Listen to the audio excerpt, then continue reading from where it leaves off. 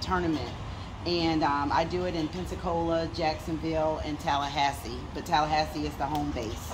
So this year we had our three uh, kickball tournaments in Pensacola, Tallahassee, and Jacksonville. We raised approximately $10,000. But this year we had a championship game. And so uh, we held the championship game here July 23rd. And uh, the team from Jacksonville played against the team from Tallahassee, and Tallahassee was victorious. But I wanted to thank you all so much because uh, I came out here and the field had kind of overgrown from when we had had it in May. And so uh, Mr. Peck here, uh, we was like a, only a wing and a prayer because we didn't know how it was going to get done.